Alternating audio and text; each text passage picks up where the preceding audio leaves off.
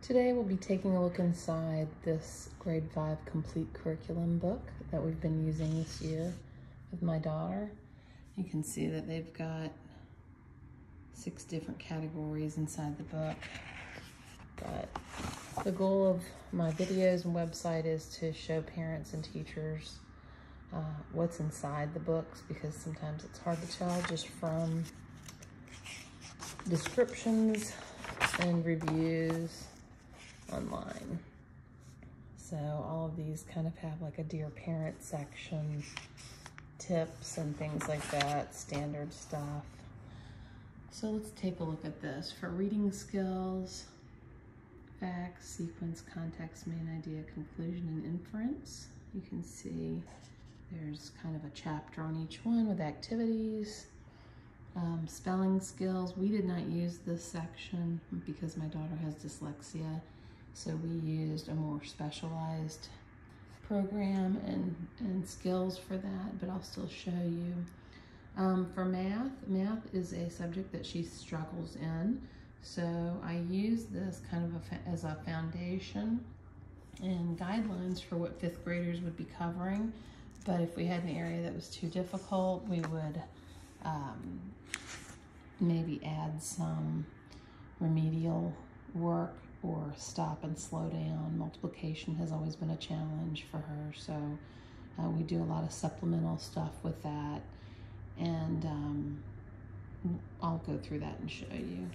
Um, we did use some of the language arts this year, uh, some of the writing. We don't really do a lot of test prep because as a homeschooler and with a student with dyslexia, it actually is more detrimental even though I do some test prep with her. Um, let's take a look at the reading skills section first. Um, so the first one talks about what are facts, how to read for facts, gives you kind of a sample problem, gives you a little a little paragraph and asks some questions about uh, the paragraph. Um, and then a practice page where we usually do this together. Um, you can read a little paragraph. It'll ask you some questions and you have to practice finding facts from the paragraph. I really like these types of activities because um, sometimes I'll read to her, sometimes she'll read depending on the day. And um, it gives her good practice at finding facts, but it's also good practice at comprehension and remembering what you've read and knowing how to go back into a passage and look for look for answers, look for details and facts. So this kind of gives you an idea of, of this area. And there's several pages on that. The next section, okay, all of these sections end with a writing roundup. Some of them we did and some of them we didn't do. Again, she has dyslexia, so I liked this one because this particular um, writing roundup had a graphic organizer at the end of it, and those are really good for students with or without dyslexia. It helps them organize their thoughts, and it's not so intimidating when they need to write about something.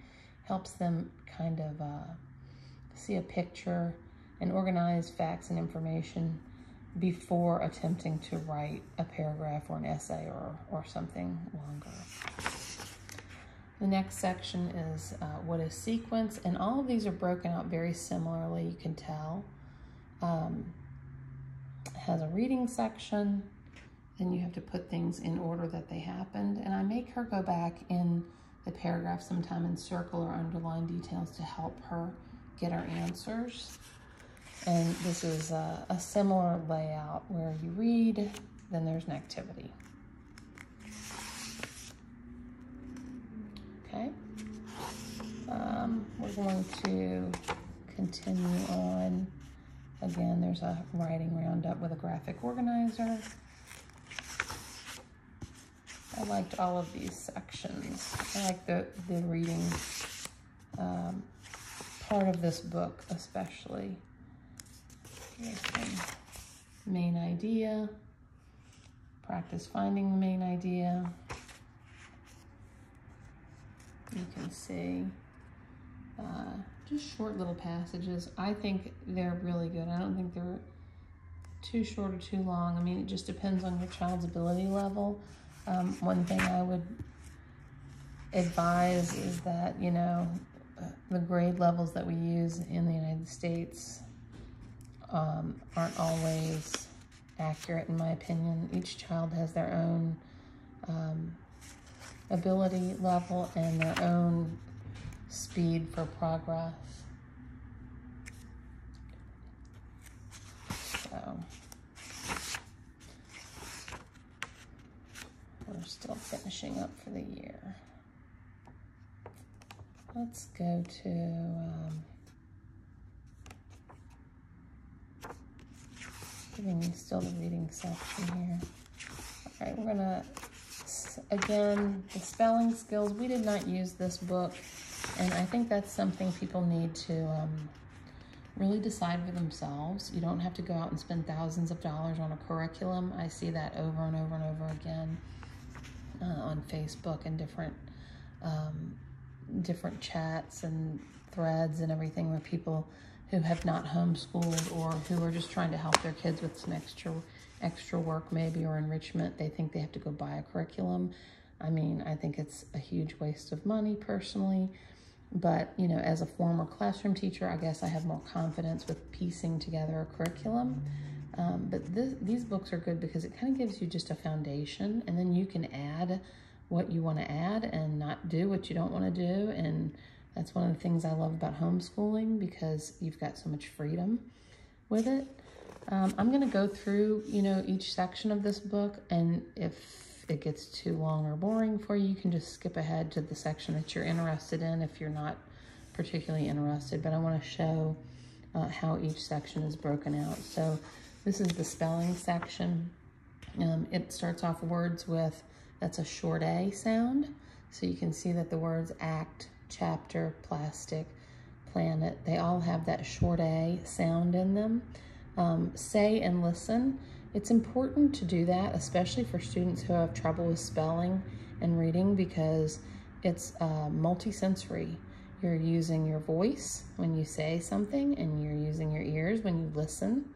And so the more uh, of our five senses that we can use when we're learning, the better because I always tell my daughter it's like um, five different highways or pathways to uh, a new piece of information in your brain. And if you've got five different routes, you're going to remember something easier.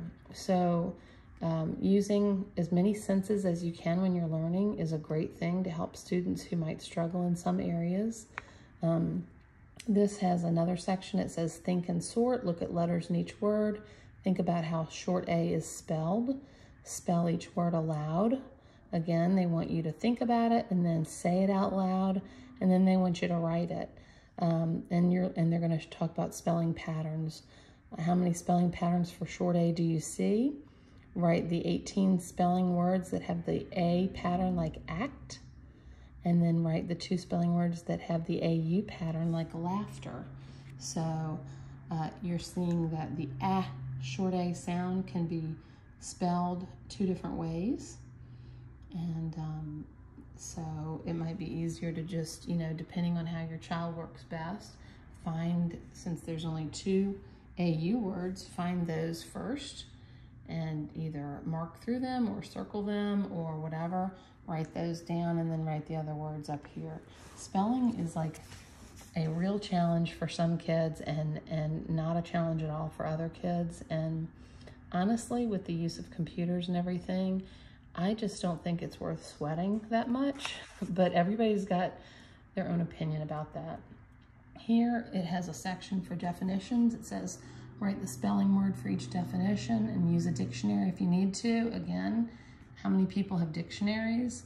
I think that's kind of a, an antiquated thing that uh, we still have testing for dictionary and encyclopedia skills. I, I, don't, I think it's important for kids to be aware of those and maybe introduced to them, but you know, we need to be um, moving into more current resources. Kids use apps and websites and everything for those uh, things now. So maybe you could use something online or uh, an app uh, if you prefer something like that. Um, analogies, this is something that some kids have a very difficult time with, so you really want to try to work one-on-one -on -one with them if they're having a hard time making those connections. It says an analogy states two words go together in the same way as two others. Write the spelling word that completes each analogy. If you're new to teaching or homeschooling and you don't feel confident, I always do one or two problems with my student uh, first to see if she has an understanding of what she's supposed to be doing. Um, I might even do the first one for her and then I can kind of tell from her feedback if it's something that she feels comfortable with, um, then I'll let her go for it. Otherwise, we might try doing a couple together. And depending on the day and her mood and how things are going, we might do all of them together or she might take over and finish them easily. You really have to be flexible and um, really try to gauge where your student is. And this takes patience and time and um, flexibility is the biggest thing. Got to be flexible, um, especially for students who have learning differences. And I think, you know, we're learning more and more about what those are. Uh, it, again, the whole, the whole lesson for the week, and usually these are kind of broken out weekly, is going to focus on a particular skill. So again, words with short A, that little squiggly line above the A means it's a short sound, ah, ah. If you see a long straight line over it, it's a long sound, so it would be the A sound, as in bake or cake. But these words all have the short ah sound, as in act, chapter, plastic, and so on. Um, proofreading is one of the skills that they have this week. It's a little more difficult, so um, depending on your child's ability level, you know, you um, may want to do that with them or you may want to skip it. You have to really kind of give yourself permission to not follow everything uh, that's in the books. Alphabetical order, this is another important skill. And then, um, so here's lesson two. They start words with, there's the long A, like I was just talking about. And you can see that Long A can be spelled in different ways, and so they talk about um, say and listen. They give you their, your word list. And again, you're gonna kind of wanna break these out, a word list per week. Um, and it shows you the different ways that the, that long A sound can be spelled, and you're supposed to write the words there. Um, different activities here in the spelling section every week they, they'll have some things that are the same and some things that are different. So last week, you know, this section, or the first week this section was definitions, and this week they're gonna do classifying. Um, write the spelling word that belongs in each group. So coat, jacket, and you're looking for another word that would fit in that category, and I see sweater right there. Um, one of the things I've taught my daughter to do, but I'm always around, is to, you know, if you're not sure of the answer, there's an answer key in the back. So you can just look on whatever page you're on and um, find your answer. And it's important for kids to know how to look up the answers.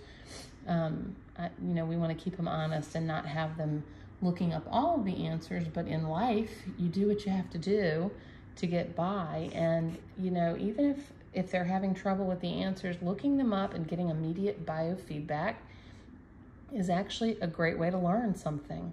So um, it's not really a bad thing if they're looking up the answers because they are figuring out how to get the job done. And that's a skill that we need to have in real life. Rhyming is an activity for the week.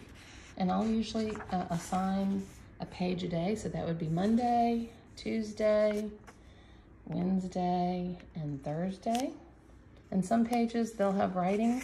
Some pages, you might just talk about it with them because again, this is dictionary skills with guide words and who uses a dictionary anymore?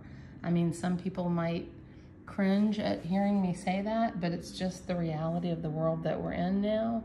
And um, there's so many things to learn. And if a kid is having a lot of trouble with this, think about is it really worth the effort and the headache if especially if you're homeschooling and and you can teach them how to look up a word and its meaning and pronunciation online it's something you might want to look at but not spend too much time on. Okay so that's the spelling section. You typically want to have a list of words a week. Um, they'll have different types of words, different categories of words. This week, sports. Kind of gives you an idea of the spelling section. Okay, math. So we use math um, in here to start with and usually start with place value and place value can be a real struggle for a lot of kids um, so you just have to, uh, this is something that I can put some links on the website for some hands-on manipulatives and other activities that you can use to teach place value because it's a, really a concept that you need to understand um, before you understand it on paper. You need to understand it um, not in an abstract way, in a concrete way. And so um, you need to have, uh, some people use an abacus, people use popsicle sticks and lots of different, you can Google different activities and, and things to learn about place value, but uh, this is called a place value chart, and sometimes you'll see them in the lower grades that just include maybe ones, tens, and hundreds. And as the grades go up, they go up, and then you'll even see at the end of this section we have one that includes decimals and numbers that are smaller than one when we're doing decimals and fractions. But um, so we used a lot of the math in here. Um, and then when we got to pages that were too difficult or she was having trouble with, um, we either skipped it or we broke out of the book. Problem solving pages I always do them with my daughter. Do not expect your child to do these on their own. A lot of kids, it's overwhelming. They'll they'll give you an example of a, of how to do problem solving, and then um, you know your child needs to understand what information to look for, what information is not necessary, which um, which operation they're going to use, addition, subtraction, multiplication, or division, or something else. Um, it's just something to do one-on-one, -on -one, ideally. I know that's not, not everybody's able to do that, or maybe your skill set does not include that. If it doesn't, I would honestly skip it until you can find someone to help you do problem solving or um, focus on getting the basics down. So each one of these is a chapter, and we go as slow as we need to go in math for my daughter because it's just a, a subject that she struggles with, and a lot of students struggle with it. There's usually a chapter review and then a unit review. Here's multiplication. They give you a little descriptor at the top, some sample problems. I let her check herself. A lot of times you might get have a better outcome if they're checking themselves um, as opposed to you making corrections. I don't put X's on the page either. It's just psychological. Um, you know, it.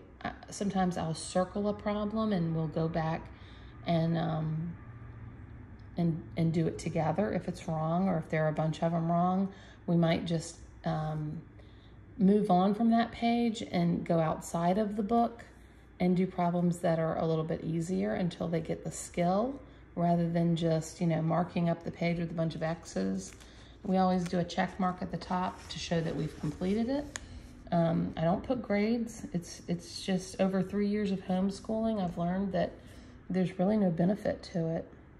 Here I marked that we, you know, used a calculator for these because she had just gotten mentally too tired, but she knows how to do the skill. Um, so you kind of have to be very flexible again and decide what your pace needs to be, depending on your state and your homeschool rules or, um, you know, if you're doing this as just supplemental work during the summertime or outside of school. This shows division.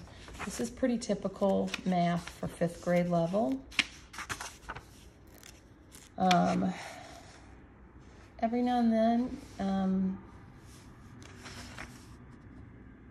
you can see I, I marked through that. I'm trying to remember why we did that, why I marked through it. Maybe I just didn't think that it was beneficial or she wasn't getting it. And so we um, worked outside of the book for that.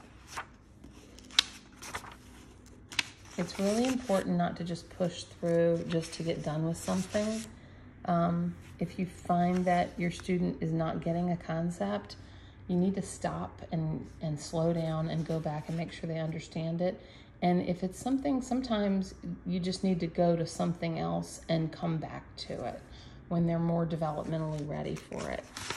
Um, so you can see we did fractions. Fractions are actually a lot of fun because you can use a lot of manipulatives and um, do some really creative things for them to get the idea. This we got to a section that I didn't like the way they were teaching it and I felt like they jumped from something simple to something really complicated way too quick. So we went outside of the book to another book that I used um, and I'll, I'll end up reviewing that one as well.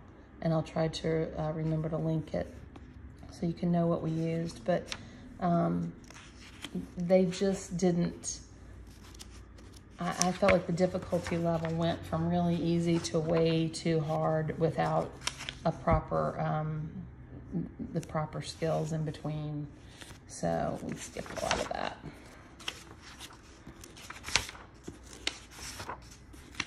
But I'm showing you just so you can see. The next unit was decimals.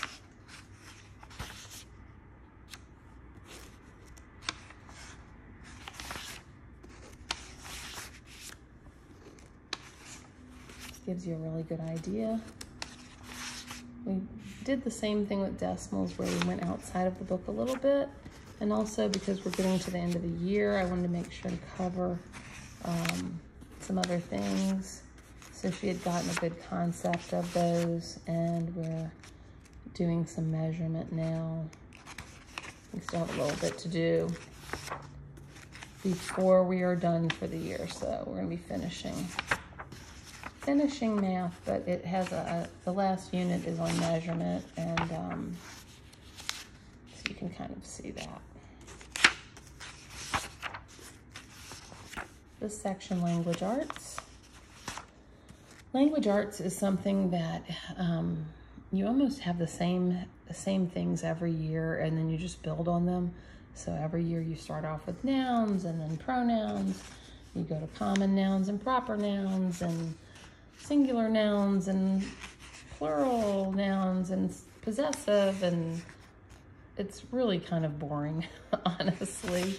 Uh, I mean, I'm just saying that from my perspective as a teacher when I taught in the classroom and um, as a homeschool teacher. Um, it's important. I do think it's important. I had a really strong foundation. They called it English when I was a student, but now it's called language arts. But it is important. I mean, um, you know, to speak well and be able to write well. And I think it's something that we're losing a little bit, but uh, it can be a little bit boring. But these pages usually just have like a description at the top and some sample problems and that answer key is in the back if you need it. Um, not overly complicated. So we kind of went through these. You can see the different categories.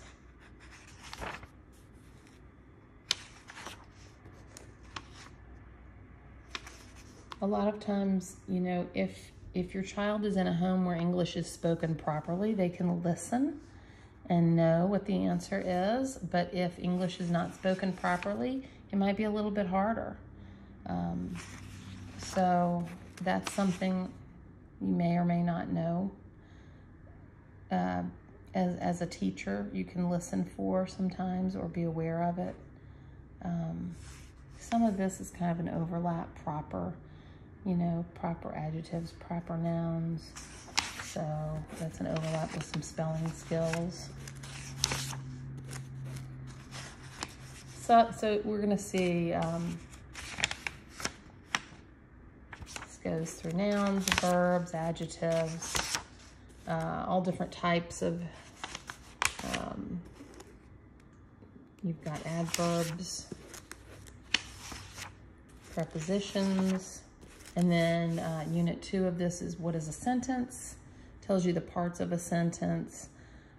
Because my daughter has dyslexia, um, sometimes all of this writing can be overwhelming for her. So I might, we might do that orally and I'll, I'll um, write for her. Um,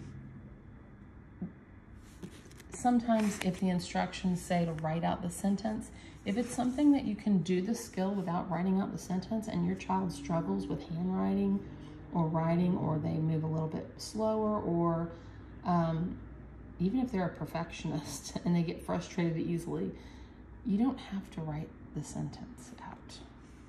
Um, in the classroom, you know, teachers might do that to keep the kids busy because you've got kids moving at all different paces and you need them you need the quick kids who are quick to have something to do, but it can really bog down students who are slower. So we don't always write out sentences if it's not necessary.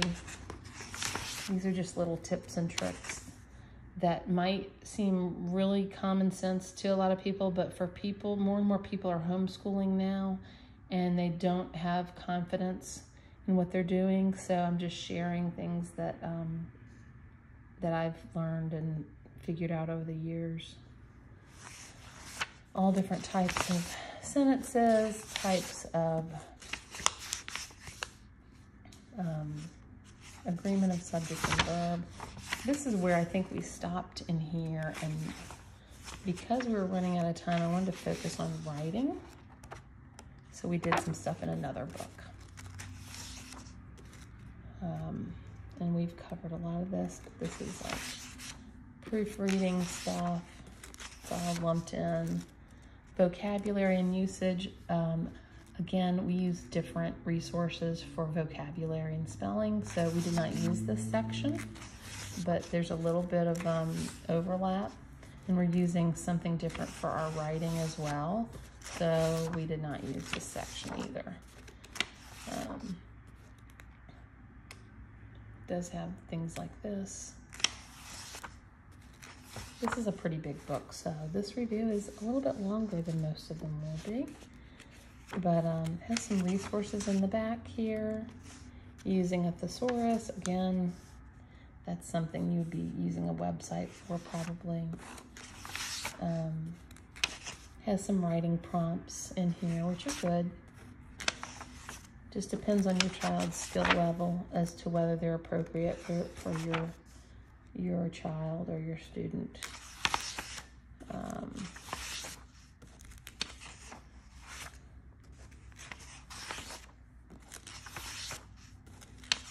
more writing prompts. A lot of kids get overwhelmed when you tell them to write something, so you need to be specific or have them um, have a list, a go-to list of ideas that they can pull from when they need to write. And um, use graphic organizers, uh, like I showed you earlier in the book, to help them organize their ideas. And it breaks down the process into smaller steps and it doesn't feel like so overwhelming. So this is more, this whole section is about writing. And we may come back and use some of this, even though we didn't use it this year. Um, it's got some good stuff in it. And so um, you know, be flexible. Just because it says grade five on the outside doesn't mean that I won't use it in grade six. Or, you know, if your child is a, a writer and loves to write and you, you want something challenging and they're in grade three or four, you can use it.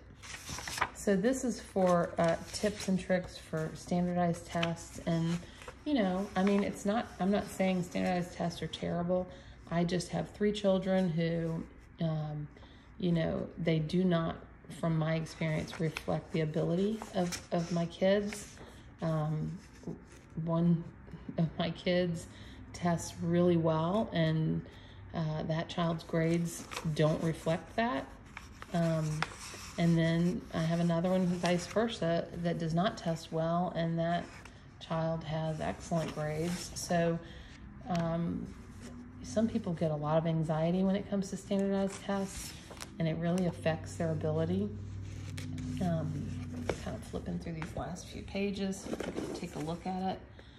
But, um, you know, they're a necessary evil, at least for now. We'll see if they stay around. I think things are rapidly changing in education.